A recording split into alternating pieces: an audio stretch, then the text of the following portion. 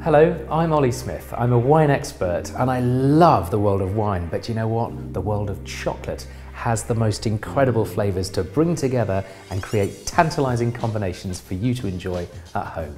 I'm joined by master chocolatier uh, Stefan Bruderer, and today we're going to be tasting the Lindt Excellence 70% cocoa with a Chilean Merlot. First of all, let's find out about this chocolate. I mean, it looks amazing. It is amazing. It, it tastes amazing. Um, this uh, recipe is a blended recipe. That means that the beans have different origins and a very high amount of fine flavor beans. But that's not all. In addition to that, we have worked in whole vanilla beans. Have a look at the silky shine of the chocolate at the various tones of brown. The shine is a symbol of quality of well-tempered chocolate. Perfect. And then.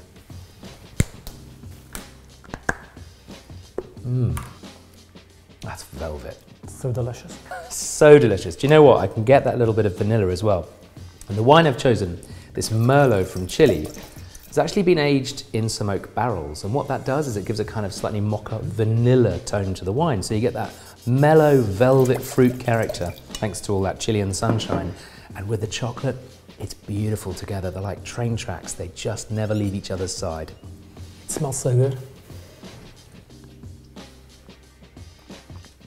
Red wine and chocolate, when they're that silky. They really complete each other.